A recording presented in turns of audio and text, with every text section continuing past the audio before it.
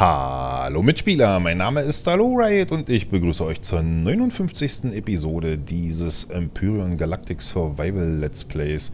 Ja, ich bin hier auf meinem Schiff, der Wanne. Ich habe meine beiden kleineren Schiffe, den Flo und den Transporter auch dabei. Und ich gucke mir die Galaxie an.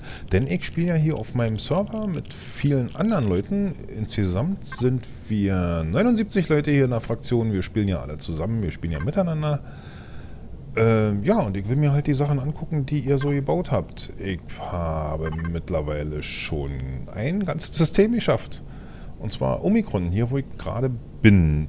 Und ich dachte mir, ähm, ich mache einfach weiter und ziehe hier so meine Linie und versuche mal so ein bisschen mir zu erarbeiten mit der Zeit, wie groß doch eigentlich unsere Galaxie ist. Ja, das heißt, nächste Station Arencia. Ziel ist erfasst. Ein bisschen früh, weil wir sind ja noch unten. wir müssen erstmal hoch. Ja, dann rauf auf den Bock. Wir gucken noch gerne von außen. Drohnen. Pff ja, sind zwei, drei Tage her, da könnte was drin sein. Moment, ich fange ja gerade an zu drehen. Ich die ganze Zeit hier im Schiff aufgehalten. Ich habe hier ähm, Bewegungsmelder reingebaut. Kleinigkeit, mehr oder weniger. Ja, hier unten kommt auch noch ein Bewegungsmelder drin. Hier, der, der Kern kommt hier noch raus, der verschwindet noch. Und ich fall hier runter. Gier. Die pure Gier. So, was haben wir denn? Neodym. Komm, kommt so selten einer vorbei.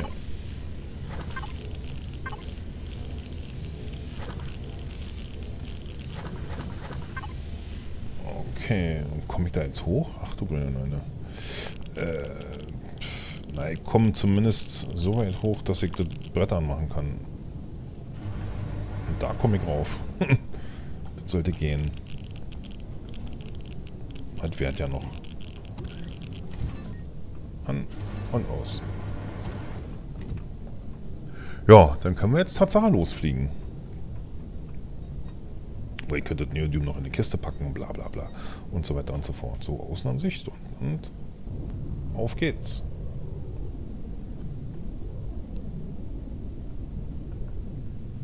Ja, schön viele Sachen hier sehen. Auch schöne große Schiffe dabei. Stationen, die Bases waren zum Teil ein bisschen kleiner. Auch die Bases hier rund um Omikron haben mir gut gefallen. Ja. Bin gespannt, was ihr sonst noch alles mir so hingestellt habt. Und draußen sind wir. So. Dann rumpel ich mal aus und wir nehmen uns mal die Map.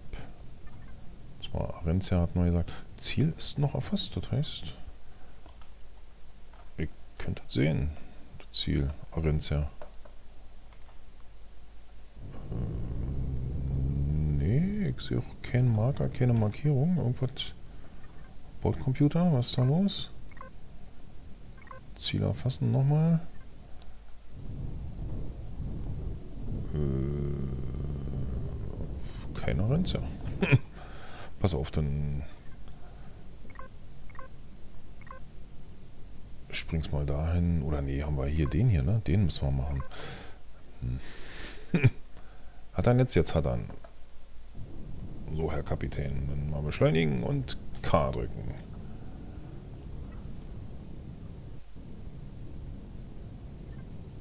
Oh, das sieht ja auch schön aus.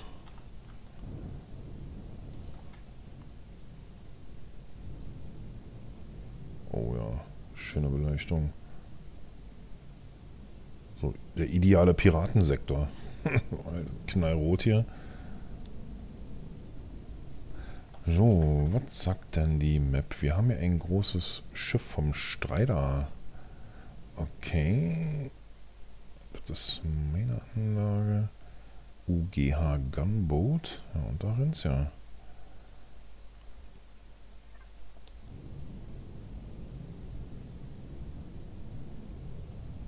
gucken wir nochmal. Ein Schiff finden können. Merkt mir lieber mal wieder Zahlen wieder an. Oh, da oben. Rot. Migotsu Chipyard, okay. Der war nicht im Moment.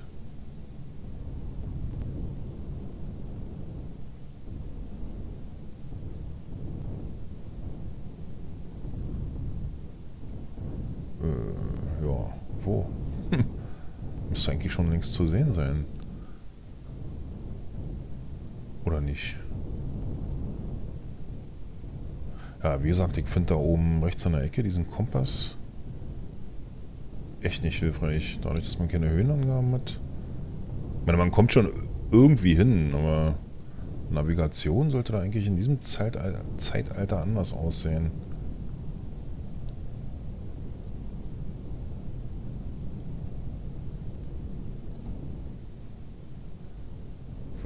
Nähern wir uns da oben irgendwas? Fliegt da jemand weg vor uns?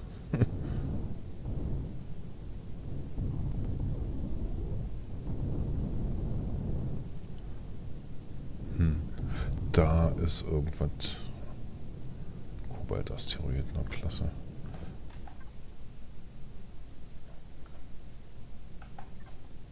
Hier soll ein Schiff sein.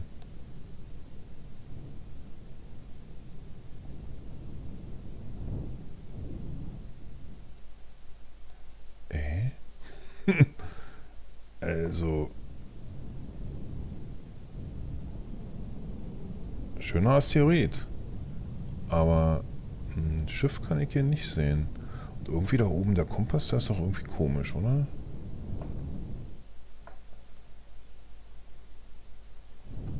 Da, da ist was. ist damit? Ja, irgendwas hat sich da doch die Strider versteckt. Ja, und auch ein Schiff aus dem Workshop-Katalog, das kennen wir gut, also fliegen wir weiter. Die ganze Suche, aber siehst mal selber, Strider, was das für ein Aufwand ist, das Schiff zu finden. War doch alles in allem nicht schlecht versteckt, aber nicht gut genug. ja, auf nach Arencia. So, was machen wir? Fliegen wir mit dem Pott runter? Ne, müssen wir eigentlich doch gar nicht. Könnten wir eigentlich den Kahn hier stehen lassen. Sagen wir mal auf 1000 Meter.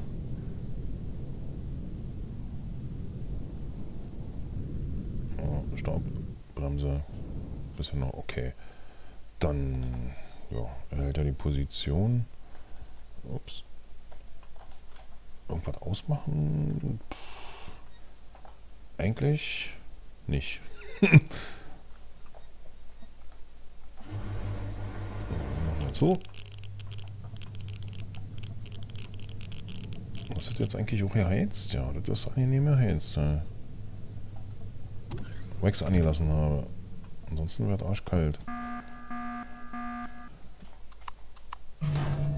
So, dann... Wo war denn hier der Klumpen? Genau, andere Richtung, ne?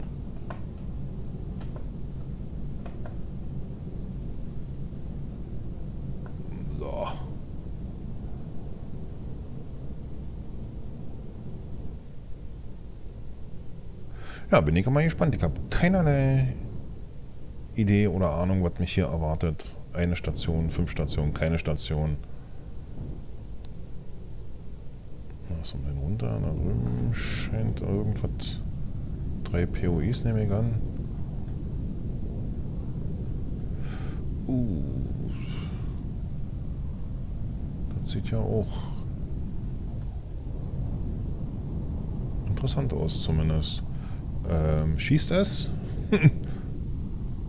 Na, da bewegt sich was. ich meine, ich, ich habe hier Raketen, aber ich bin im Frieden hier. So, was haben wir hier? Im Norden direkt. Striders Sanctuary. Und wir gucken auf Lost Alien Sepulture. Oh, Sepulture. Keine Ahnung. Haufen POEs.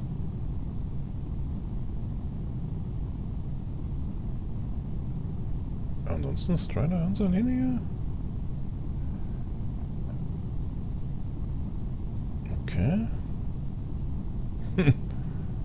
ja. Dann in Richtung Norden. Das ist äh, rechts rum.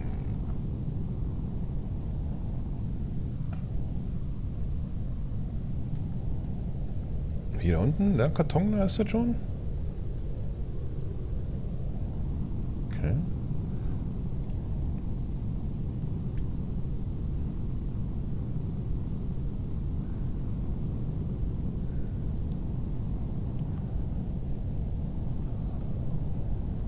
So, mal ein bisschen langsamer.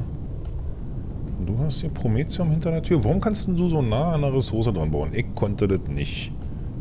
Hatte da Stress. Aber Drohnen halt auch nicht brutzeln. Ist da unterirdisch rangegangen? Etwa?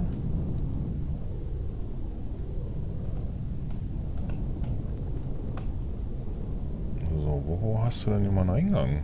Ups.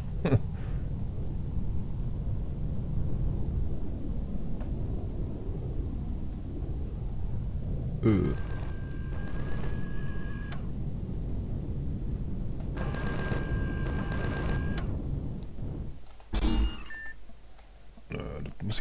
inspizieren. Wir drücken mal P. Und hier scheint es auch irgendwie in eine Richtung zu geben.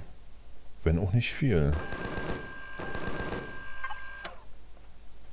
Na, wo hast denn du hier mal eine Tür?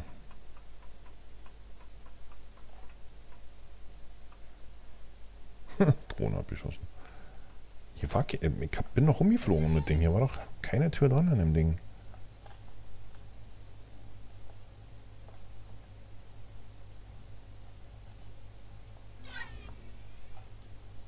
Meine, gut, äh, er kann ja auch jedes Mal kommen und sich einfach einen Block rausschießen und drin gehen. Vorzugsweise hier an der Stelle vielleicht. Hm. ja, so viel dazu. Dann ist das hier die Basis vom Strider auf Arencia. Ich glaube, ich gehe Drohnen sammeln. Wer weiß, was da drin ist. So, tut so.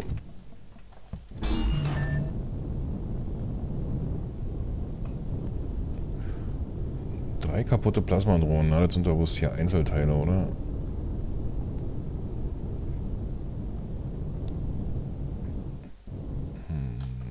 PV Petrol Medium? What? Von denen hier? 290 Meter. Man könnte ja auch sich mal ein bisschen bestücken. Wer weiß, was hier sonst noch so kommt. Hey, nichts mit.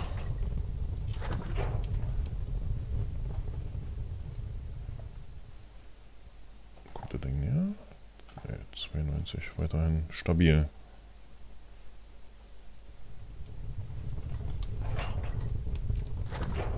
Ja.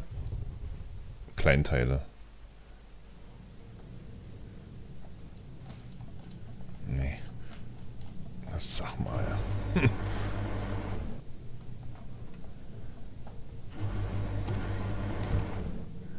Okay, haben wir das? Dann will ich es doch aber wenigstens mal gesehen haben. Was? Unterirdisch?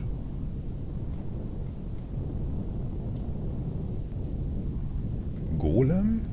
Also irgendwas stimmt hier nicht. Sehen wir doch deutlich, oder? Wie wird das denn los hier? Achso. Schütze einstellen.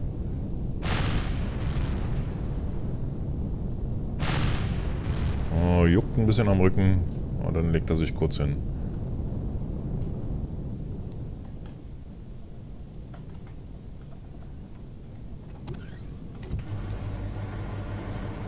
Mehr? Nee. Was hast du? Ja, komm. Kleine Kasse, nehmen wir einfach mit. Ja, dann haben wir uns auch ein bisschen was hier vom Planeten mitgebracht. Dann war das nicht ganz umsonst. Ja, ansonsten äh, ja, ist ja hier eine Strecke und nicht weiter gucken. Dann ja, geben wir Gas. Also das hier mit dem Wessel unter der Erde habe ich mir, naja, so gesehen notiert. Da werde ich mal mit den Administratoren hier reden, was da los ist. Das scheint falsch gespawnt zu sein. Vielleicht da irgendein Fehler und das hat noch keiner gemerkt. Kommt vor. Ja, dann können wir unsere Reise rund um die Galaxie ja gleich fortsetzen. Hätte ich gar nicht gedacht. Geht ja schnell. Ähm, wenn ich jetzt wieder nach Hause finde, zu meinem Schiff. Na, der Floh wird angezeigt. Der Krieg nicht abgestellt, irgendwie. Meine, ist ja so jetzt für mich als Orientierung ist das ja prächtig. Aber generell, wenn ich die Wanne selber fliege, ist das sehr nervig, dass der Name dauernd da steht.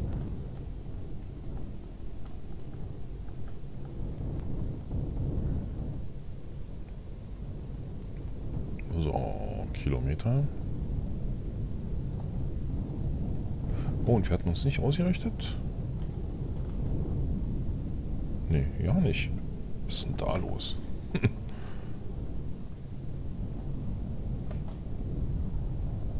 Doch alles selber machen. Das ist man ja nicht mehr gewohnt. Äh. Rein aus der Gewohnheit her diesen, diesen Knopf zum automatischen Ausrichten eben gedrückt. Und der bringt mich ja nun völlig in eine falsche Lage. Also da unbedingt dran denken, das macht dann beim, beim Andocken vieles leichter. Ja, wir stellen uns ein bisschen unter. Tütüt.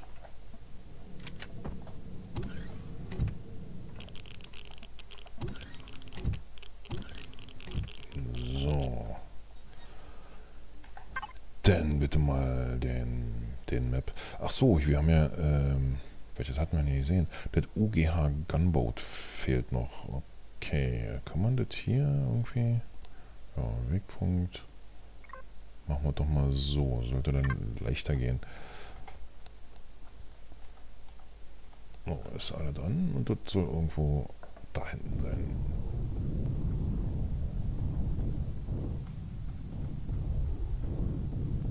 Oh, verbrennen wir noch ein bisschen Energie. Was verbrauchen wir eigentlich? Wir verbrauchen 24 Prozent. Okay, dann kann ich ja praktisch einen Generator rausnehmen. Sollte man das machen? Ich meine, ist es besser mit einem Generator sozusagen zu fliegen, der denn auf 80% oder so läuft? Ist das effizienter? Eigentlich schon, ne? Wenn man so sieht. Das habe ich beide schon gebaut. Beide abreißen, beide wegschmeißen. Wo ist da die Effizienz denn? Wie viele Milliarden Meilen, Kilometer müsste ich hier fliegen, um das wieder zu amortisieren? Kann das mal bitte einer ausrechnen? So, weit abgelegen das UGH Gunboat.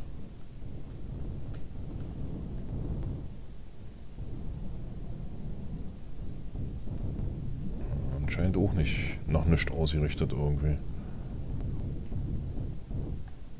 Ja, und da will ich dann auf jeden Fall ein bisschen Abstand halten, damit es hier mit diesen ähm,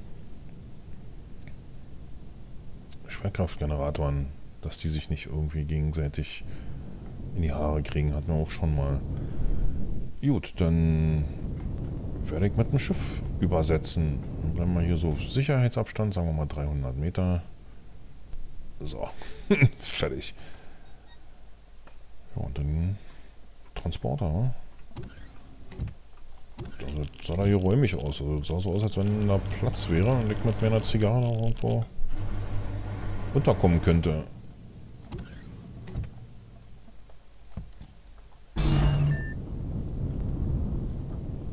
So.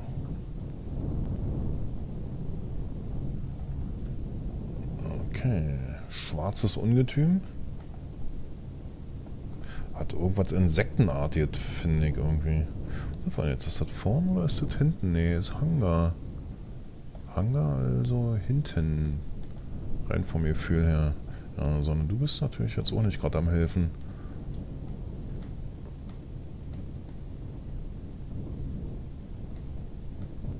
Äh, ist das hier vorne? Die dicke Seite?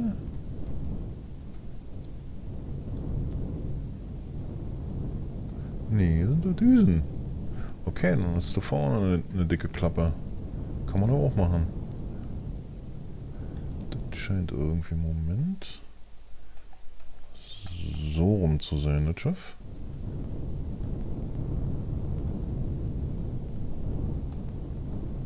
Nur Kanonen hier, was ist denn das da? Nee.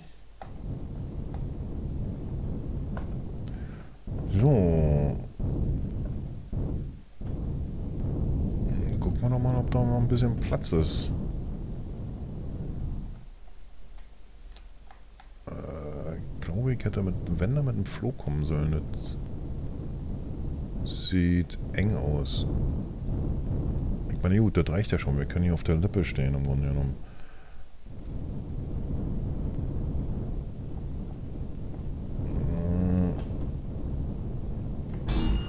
Oh, siehst du?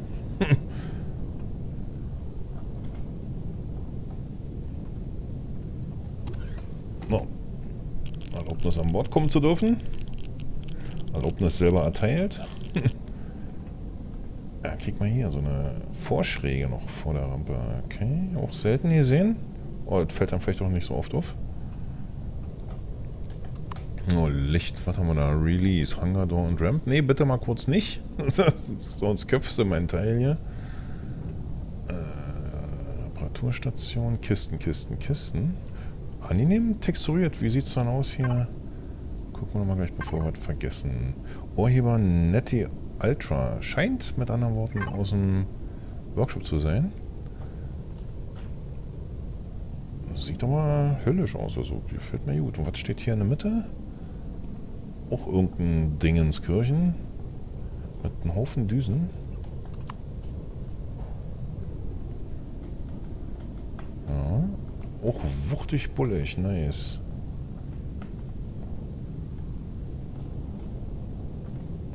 Gehen wir mal hier ran.